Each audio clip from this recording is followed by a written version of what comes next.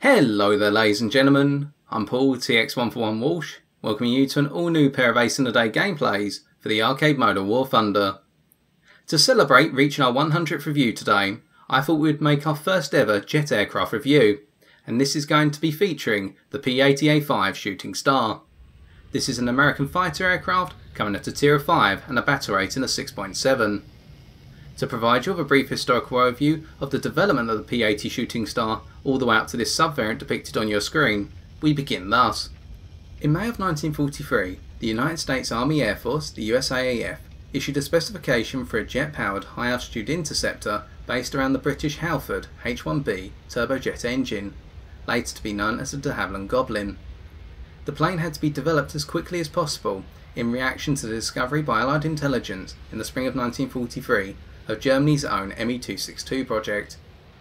Lockheed was tasked with designing the plane, and under the leadership of Clarence L. Kelly Johnson, went to work.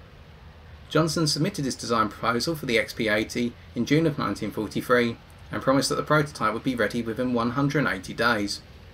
It is worth noting that during the building of the prototype, which started on the 26th of June of that year, the team did not have access to the actual engine that would be integrated into the airframe, and they only had access on the 141st day, the day on which the airframe had been completed.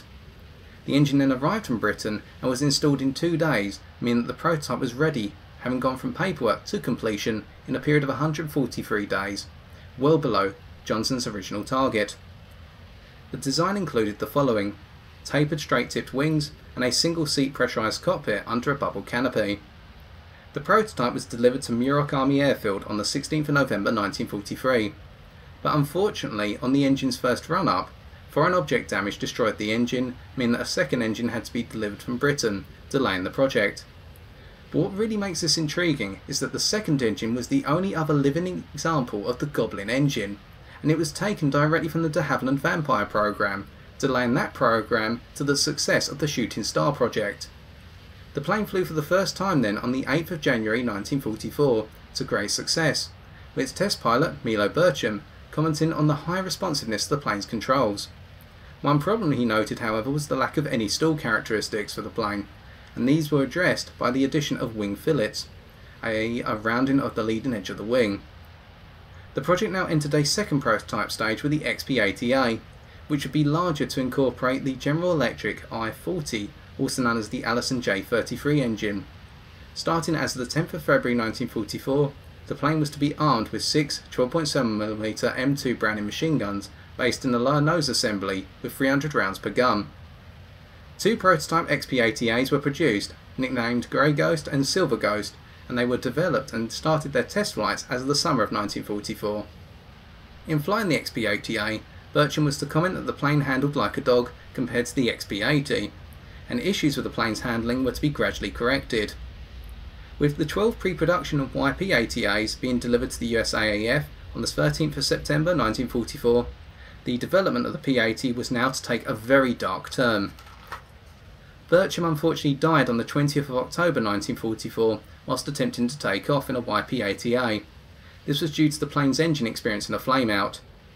Grey Ghost, one of the two YP-80A prototypes, was lost on the 20th of March 1945 during a test flight due to the engine's turbine blades breaking and causing the tail structure to completely fail.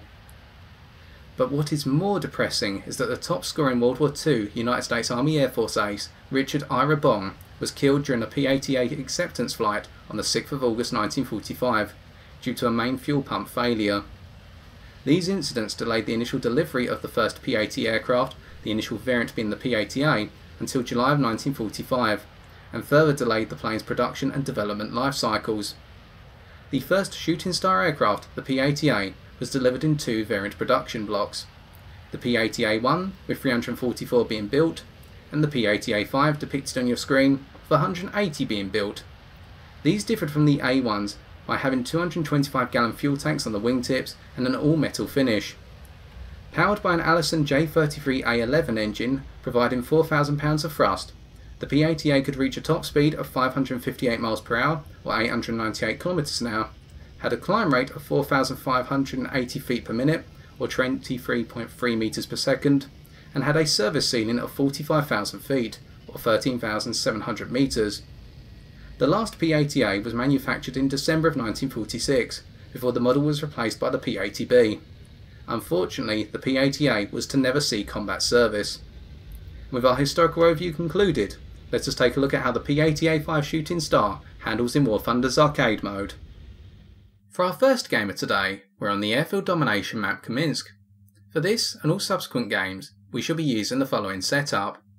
Universal belts for our 12.7mm machine guns, reasoning being that their composition of two armour piercing incendiary, two incendiary, and one armour piercing incendiary tracer round works very well at bringing down light enemy fighters in a single pass, and if we do not bring them down in a single pass, we can set them and our more heavily armoured opponents, i.e. the enemy bombers, on fire and cause them to burn to death gradually. We must also consider the tracer command available in the APIT round allows us to correct our fire very rapidly if we miss at the start of our burst. For our gun convergence, we are using a 500 meter gun convergence as armed is based down the centerline of this aircraft, and that is standard to any plane I fly in that configuration. And for our fuel load, we are taking the maximum possible, i 28 minutes, in order to make it to the end of the game unscathed on fuel capacity. So we begin our analysis of the P-80A5 by considering its climb rate, and how using a more gradual angle of climb at the start we're able to conserve a good portion of our speed compared to if we used a sharper angle of 27.5 degrees, which we would typically use in our prop-based opponents based at this tier and battle rating. Whereby, by taking an angle of 10 to 15 degrees, we find that we do not drop our speed as rapidly, and as a result we can keep our speed above 400 km an hour. Now 400 km an hour is a very key threshold in this plane. Below it you'll find that your acceleration begins to taper off quite nastily, and this puts you at a great disadvantage when going up against the greater acceleration of planes such as the Tempest Mark II, the Focke-Wulf 190 D12, and the N1K2. But above 400 km an hour, your acceleration does not become exceptional, but it is very consistent and average, whereby you will find that the plane will build up speed very nicely, and this acceleration stays with you all the way up to 825 km an hour at which point it begins to taper off once again as you head towards your top speed of 900 km an hour in game. Therefore you have the ability, so long as you keep above 400 km an hour, to keep building up the energy state of your plane, by building up your speed initially and then going into a gradual angle of climb, anywhere between 5 to 15 degrees, and you can build up your altitude and your speed together. And by making sure not to drop below 400 km an hour at the start and instead leveling out and ruddering around, we've been able to head off towards the edge of the map and essentially discourage our opponents from chasing after us. And having done that, we can now rudder around once again and head back towards the centre of the map gradually. Instead, opting to stay on the edge of the map for the time being, as we now balance out our plane at 647 km an hour into a gradual climb. And we can see here that whilst our altimeter is not going up in its value rapidly, it will over time, and very quickly we will be at 4,500 metres altitude, if not more. Sometimes you will look away from your altimeter one minute, and then the next minute you'll notice that you've gained a thousand meters altitude. And it really does not feel as though you have in this plane until you look at the altimeter, and that is what you're witnessing here. It's a gradual plane and needs to be set up accordingly. And once we're in such a position, we can begin to strike back. And the importance of making rudder turns, i.e. flat horizontal turns, rather than making the harsh turns where you roll your plane 90 degrees and pull up on the elevator, is that this enables you to conserve your speed and allows you not to risk being in a weak energy state. If when we levelled out at our climb of approximately 410 km an hour we had made a hard turn and tried to head away, we could have been bounced by the likes of the Arado 234C3, alternatively had the Griffon Spitfire chase us down. But instead, by being able to conserve our speed, we kept ourselves safe. And now at a speed of 710 km an hour approximately, and 4,700 metres altitude, we're in a brilliant position to start striking the enemy team as they come out of their spawn and head on the approach towards the airfield we can bounce our opponents using the cloud layer that is on offer. We're using the environment to our advantage, but we would use this approach even if the cloud was not there. Now note how as we go into a dive, the ability to build up speed in the P-80A5 in a dive is exceptional, whereby our top dive speed is 1062 km an hour, and we're going to see this here, or we're going to head towards it as we attack an enemy Tiger Cat, ripping them apart very rapidly by taking off their right hand wingtip and picking up our first kill. At this point we can use the short distance climb abilities of the P-80A5 to our advantage, whereby coming out of a dive at in excess of 900 km an hour speed, you can rebuild your altitude position very rapidly at the cost of your kinetic energy. But at all points, notice how we try to make sure we level out of our climb, our burst climb, before our speed drops below 400 km an hour as a minimum. We want to stay safe and reset ourselves for the next pass. Therefore notice how we're not rushing to get in that second pass, and even if we did have multiple opponents trying to climb up after us and stalling out in our wake, we would not try to rush in to get the next kill, as if we did not give ourselves the time to reset after each pass, we will be ripped apart accordingly, because our opponents and their props will have the better acceleration over short distances and at lower speeds, which we have articulated previously. But now having rebuilt our position, we go in once more, and we notice the line of opponents all heading towards the airfield, so we're going to start with a P-51D Mustang. We come in fast here, again using our ability to build up speed in a dive to our advantage, and knock them out. We then carry through, picking on an I-185 underneath us here, they are unaware of our presence, and we cut them apart, picking up kill number 3, and then we swing up on a Focke 190A5, hoping to clip their tail, and we get a couple of hits in, but nothing to cause a critical hit. We break up at this point, again using the burst climb rate of the P80A5 to our advantage, but we clock onto a Tempest which has made its way out of spawn, is at roughly 2,500 metres altitude and is now accelerating in level flight. We are reacting to this by heading away and conserving our speed. Because what is interesting is, if you go into a dive and then level out in the P80A5, you will not bleed off your speed compared to how you would in a prop. This is something you have to get used to in jet aircraft in general, these planes have the ability to retain their speed much more easily when coming out of a dive compared to a prop. This means we're able to build up our speed to in excess of 640 km an hour already after going through another boom and zoom pass. And note here how we've been able to dissuade the Tempest from coming after us because we pulled enough distance in order to manage the situation and we actually pulled them onto one of our allies. Now, making our way back towards the enemy's approach line, we have rebuilt our speed, and perhaps we now need to talk about the handling characteristics of the P80A5, especially with regards to high speed dives. Your ideal handling range, as we notice a B7A2 and we try to climb over them, is from 400 to 700 km an hour. Now below 400 km an hour you will find that the control surfaces still respond, but they feel incredibly limp in all three domains, are your rudder, your ailerons and your elevator. As though when you try to make an input, especially as you go below 300 km an hour, nothing happens.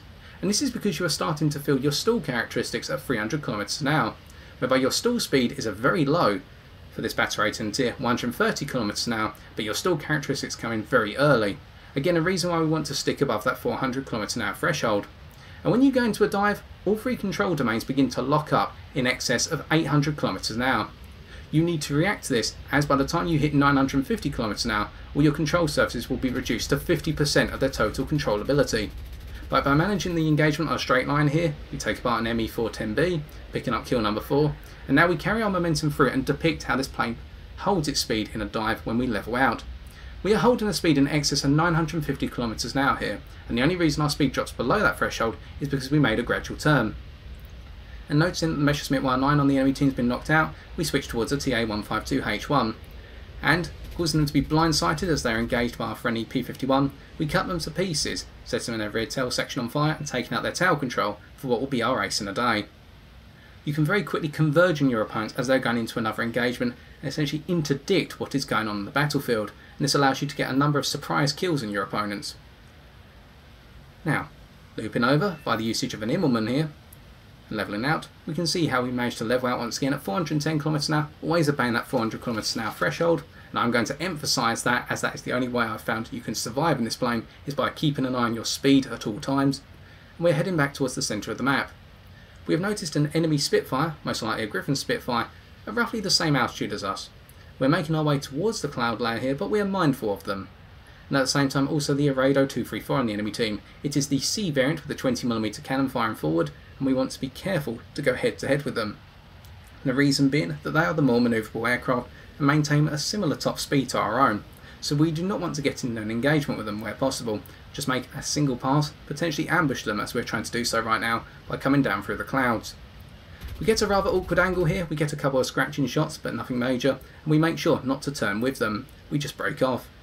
We always want to try and stay away from a committed engagement, much like against enemy props when they're stalling out behind us, such as the TA-152 underneath us right now, if they've stalled out. Whether they're using a gradual angle or climb, we're not sure because of the cloud layer, but we never want to commit to a more than one versus one engagement. And when we go for a one versus one, we want to get one pass and then break off, reset the scenario, and then go back in again.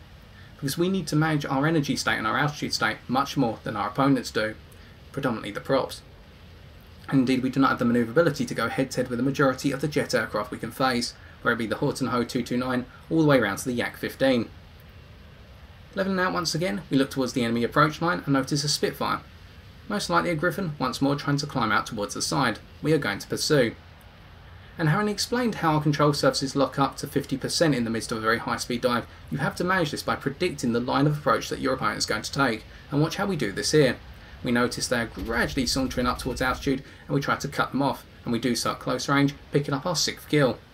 So you need to be able to watch what your opponents are doing and try to predict their next motion, as in doing so you'll find that your success rate in a boom and zoom pass is going to be increased, as your firepower of 6 12.7mm machine guns can seem a little bit daunting at first in boom and zoom tactics.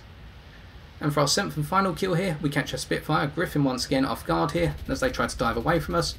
We take out their tail control in our pass and predicted their motion, and that is our final kill of the match as they crash into the ground. Now we're aware of the fact the Arado 234C from earlier is now pursuing us, but as we have said before, we have roughly the same top speed, whether it be in a dive or in level flight. So we're just going to maintain level altitude here, and now we decide to be a little bit cheeky and snap up towards them, try to go for a head to head. But this is disadvantageous for ourselves because whilst we have a good roll rate in order to be able to snap rounds away their fire, we only have the 12.7mm machine guns compared to their own 20mm cannon. So you can feel a slight firepower deficit in the P-80A5 compared to what you may be used to before flying this aircraft such as the 20mm cannon on the F8F-1B Bearcat for example, or in flying other nations, the larger caliber cannon available, such as the 30mm cannon available in the German Messerschmitt 109G variants. But still, we make the most of what we are given here, and we just tail off an Arado 234, the one we've been discussing previously, to make sure they cannot commit to any more dogfights, or at least for a significant period of time, as our team goes to the airfield to recapture it and close off the game. As we can see they do so, and it is now time, I believe, for us to take a look at the post-game stats.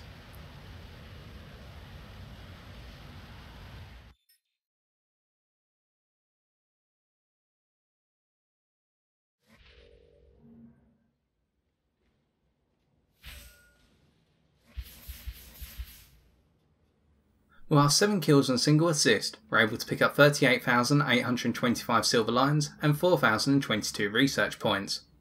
Hopefully this first game has gone to show that taking a more gradual, independent approach in the P80A5 Shooting Star will allow you to achieve success in it, whereby not following the beaten path of your teammates, but instead heading off towards the sides of the map and gradually building up your speed and altitude by gradual angles of climb, you'll be able to set yourself up in a prime position to strike your opponents, who after a short while may not expect to see a P80A5 still incredibly high up in the sky as they have gone into multiple engagements and are now having to reconsider their own positions.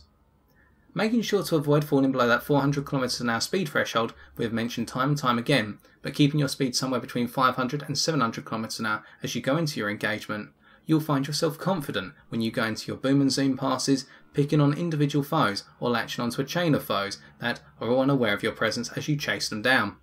And whilst your 650 caliber machine guns may seem a little bit inadequate for such an approach, the results will come when given time and accurate shooting. We can extend this approach to those matches where you're in a battle rating 7.7 game, as whilst the jets around you will be able to outperform you, especially with regards to top speed. If you linger off to the side slightly and make sure to build up your overall speed and therefore your energy position, you'll be able to snap into engagements when your allies are engaging your opponents and pick off a couple of kills left, right, and centre, simply because your opponents are not going to expect to see a P80A5 who has taken their time and measured the situation accordingly and by taking such an approach in this match, we came 7th by comparison to the rest of our team. So now let us take our P80A5 a little bit further and demonstrate it in an interceptor role, what it was designed for, where we are now going to go bomber hunting and at the same time try to harmonise a little bit with our team rather than just be purely independent in order to achieve results. For our final game of today, we're on the ground strike map Eastern Europe using the same setup as before. And having already specified that we were acting an interceptor slash bomber hunter role, we need to put one small condition around this, and that is we will be in the second line, not in the first line of the interceptors on our team. Now this may sound a little bit odd, as surely being an interceptor you want to be the first plane to get to altitude in order to bring down your opponents, whether they be bombers or climbing fighters. Well this is very true, but we have one issue here, and that is we do not have the engine power, especially at lower speeds in the midst of a sharp climb, in order to be able to achieve this. Now we've already outlined this compared to our prop based contemporaries in the previous match. So as a result we are going to use our allies to provide an opening screen, as they have the ability to intercept and engage the enemy team before we do. Instead, we will continue to use our gradual approach to head behind friendly territory and build up our overall energy state and our speed. In doing so, that means we act in the second line interceptor role, whereby our allies have cleared the skies of the enemy threat initially, alternatively, the enemy team has been victorious but has been cut down somewhat, and we can clean up the rest. Another alternative approach in thinking about this is simply that over the course of a game, typically once your team has achieved altitude supremacy, a good number of your team may proceed to lower altitude simply because they may be bored of sitting up high, or alternatively they can see a number of juicy targets down at extremely low altitudes, i.e. the ground attacker aircraft. So you in your P-80A5 can be ready to take up the reins of the interceptor role and surprise the enemy bombers who may spawn out thinking the skies are now clear for them to level bomb and suddenly they see a P-80A5 ready to interdict them. And we can see this coming to fruition in this match with a friendly Bearcat, a friendly Messerschmitt 109 and a friendly Tempest all heading into the fray already. Meanwhile we're just making our way behind friendly territory and continuing to build our speed and our altitude, having already hit approximately 4,360 metres altitude and our speed is quite high at the moment at 540 kilometers an hour. We notice an enemy Tu-4 and that will be our first point of interest if we can get to it in time. Again, one of the limitations in this role is you may not find the targets coming to you as early on as you would want them to. And we're going to see that with the Tu-4 as our friendly Tempest makes their way over to intercept them. But we can see how the enemy presence up high is gradually being knocked out, with the only remaining threat as we're going to see in a bit being an F-8F Bearcat all the way out in the northern corner of the map. The Tu-4 is going into a stall to try and bring all their 23mm cannon turrets to bear on our Tempest, but our Tempest successfully knocks them out. So this can be a small area of frustration if the skies are clear initially, once you do get into that second line role. It is something to be expected. But we can see how a good number of our allies who initially went for altitude have now dived down to lower altitudes. And the enemy F-8F Bearcat which we are talking about has materialised on the fringes of the map, going after our friendly B-29, and we're ready to take them on and a Horten Ho 229 which has come rushing up out of the clouds. Now to 5,400 metres altitude position and a speed heading towards 600 km an hour, we are ready to go head to head with our foes. And the Bearcat is going to go head to head with our friendly Messerschmitt 19 and here we're going to see that the two knock each other out. This mutual exclusivity being something we're going to rely on in our second line role. Whereby now that the skies have cleared up mostly, we can begin to take on this Horten Ho 229 without any interruptions. We decide because we have the overall speed and altitude position on them to just go above them as whilst their stall speed may be lower, I cannot confirm that at the moment but I'd expect that because their plane is essentially a wing, we decide to loop over the top and use a limited amount of air brake here, which is readily available, to essentially cut our loop in half. This enables us to come down a little bit earlier on the Horten Ho as they prove evasive, but we can strike them with a couple of hits. And unfortunately here, whilst we do appear to strike while they're two engines, it is not enough. So we decide just to redo our loop at this point and cause the Horten Ho 229 to follow us once more we're relying on the fact that we built up enough energy in our dive to essentially cause them to stall out, even when they try to fire some 30mm cannon rounds at us to try and catch us in our loop. We do so successfully, and at this point, having stalled them out, we see that a friendly F-8F Bearcat comes in to pick up the kill, and we get the assist. And this means that the P-80A5 shooting star can work very well when in harmony with a friendly squad mate. The reason being that you can cause your opponents to stall out as they try to chase after your jet aircraft, and a friendly prop or another jet can rip the opponents apart accordingly. And here we go once more on a Focke 490A5. We get a couple of hits, but our accuracy at this point is a little bit poor. And we decide to carry our momentum through here, conserving our speed in that gradual dive to attack an enemy B-17. We sprinkle towards them at long range, not getting many hits, but as we get in close here we can really put the rounds in, having taken out their tail control, we finish them off, taking off their right hand wing intercepted one bomb already, and we have the Focke 190A5 pursuing us gradually. Now we decide to go vertical here once again, because we want to bait them out for our friendly Bearcat, or alternatively just stall them out. As the A5 does not have the greatest of high altitude performance, and we feel confident here that we can essentially bait them into a very weak position. So we do so, present them a juicy target, but their fire falls behind us. We are teasing them out at this point, and as they now begin to have to level out as they're hitting their stall, our friendly Bearcat snaps in for the kill. Unfortunately we did not get the assist due to the scratching rounds we put in earlier, but not to worry. We've worked very well with our Bearcat so far, and we're going to try and continue this partnership where possible. Now we see an enemy Tiger Cat off in the distance here, potentially trying to get to altitude, so we're going to react to it, as a friendly Sea Fury also comes up to altitude. But we decide instead, let's go for the bombers. We want to be a bomber hunter, let's go do it. So we attack a B-17 at this point, and we decide to come from above towards their cockpit, while the weaker parts in the aircraft, and we take out their pilot.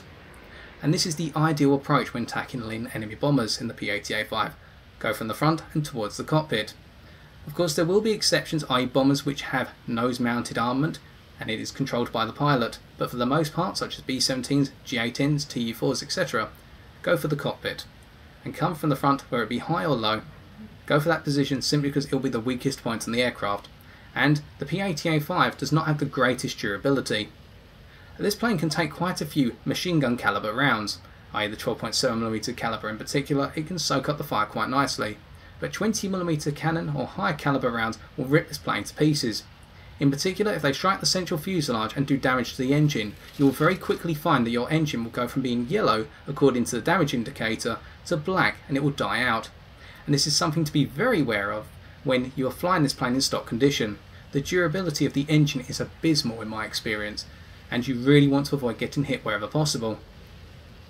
Now we're going to echo why this plane is rather durable to machine gun rounds a little bit later on, but in the meantime we've disengaged from the Tiger Cat simply because they seem to be wasting our time a little bit. They may be just heading over towards our spawn point to dive on some of our friendlies and they'll just carry the momentum through. They may be stock, that is an approach which you can use when flying a stock aircraft when you're unsure, and we're going to put that behind us. Instead, we're going to take on a B-24 Liberator at this point and articulate why this plane is quite durable, our shooting star, to 12.7mm machine gun rounds. We come in in a gradual dive here with quite a bit of speed. We want to try and attack the B-24 before they can turn tail to us, and in doing so, limit the amount of guns they can have on us, and they try to stall out at this point. We get a critical hit in, doing some damage to our undercarriage by looks of things. And having noticed a P-51 in particular climb up underneath us, we are going to break round over the top of them now, using our very powerful rudder.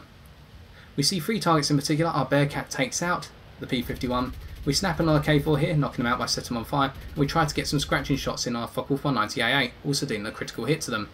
We took out the Messerschmitt 19K and we break up towards the B-24, using our sharp climb and only engaging our opponents once. Coming out to the climb here, we get onto the tail of the B-24D, a very dangerous approach, but we can see how we set their right hand wing on fire and we took some hits towards our central fuselage, not to the engine fortunately, although it would seem as though we've taken some hits to the engine according to the damage indicator. Perhaps we've just taken hits to the canopy around it.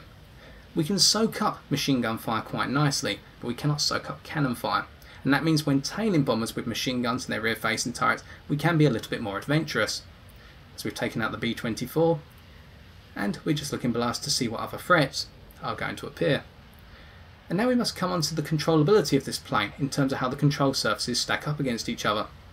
The most powerful control surface on this plane in my opinion is the rudder.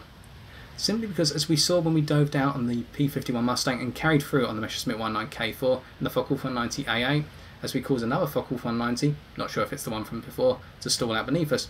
The rudder is very powerful, once again here we use our air brake to cut our loop slightly and come down a little bit faster. The rudder allows you to make some very tight turns and snap onto opponents for stalling out underneath you, or as we saw against that Focke-Wulf 190A5 from earlier, bait them out to stall out when they try to get a clear shot on you. And here we just break past the Focke-Wulf 190 because we do not want to take the risk above the enemy spawn of having enemy planes climb up out of the clouds towards us and catch us by surprise. The roll rate of this aircraft is very good as well, but because it is so high, it can make this plane very unstable, especially below that 400 km an hour speed threshold. You can use your roll rate to snap onto targets as they become evasive, or snap between two targets in close proximity, so that always works to your advantage. And your elevator is the weakest of the three control surfaces, whereby it can feel a little bit heavy sometimes at higher speeds as you head above 700 km an hour in particular, and that can cost you the ability to get a clean shot on target but it did not there as we caught that Focke-Wulf 190 by surprise, set them on fire, and we've picked up our ace in a day. So you do have quite a balance of control surfaces in general, as we escape the likes of the Messerschmitt 19G behind us by using our ability to retain a good amount of speed in level flight when coming out of a dive. So technically, we could say that the control surfaces are balanced in a way that one does not have an advantage over the other, but it really does feel as though the rudder is what carries this plane forward and the ailerons back it up and the elevator is more of an afterthought and just allows you to get the final shots on target. As we make our way away here, we decide not to try and engage any more foes because of the flak fire around us, but simply live out the rest of the game. As we can see, the game ends, and it's time for us to take a look at the post-game stats.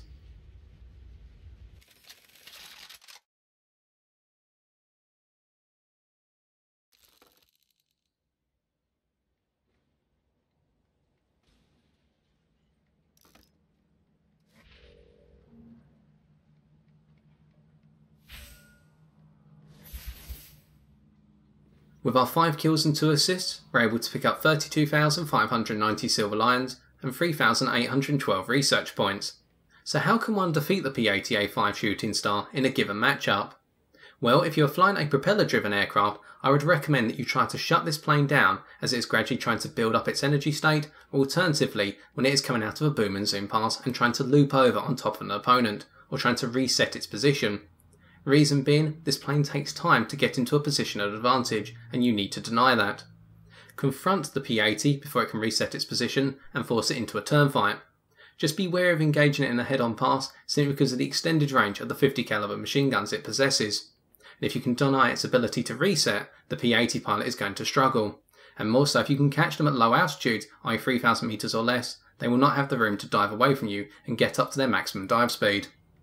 And we can extend this need to engage the P-80 in a potential turn fight when flying other jet aircraft at its battle rating and tier, or around it whereby the P-80A5 possesses one of the widest turn circles of the jet aircraft available, and you'll be able to shut it down in a turn fight or one based around manoeuvrability quite rapidly. But by avoiding these two circumstances today, we're able to come forth by comparison with the rest of our team in this second match, employing the P-80A5 in our intended bomber hunter slash interceptor role. To conclude, with its balanced overall control surfaces, moderate engine power, both in terms of the straight line and climb performance, and its adequate firepower with the 650 caliber machine guns, the P-80A5 may feel very different from the prop-based aircraft that you have flown in the past. But with the gradual approach it encourages, it provides a great welcome to the jet age. And so I've been TX141, and if you've enjoyed this video why not leave a like, comment or subscribe for future War Thunder videos on my channel. But until next time ladies and gentlemen, take care, and good luck in the skies.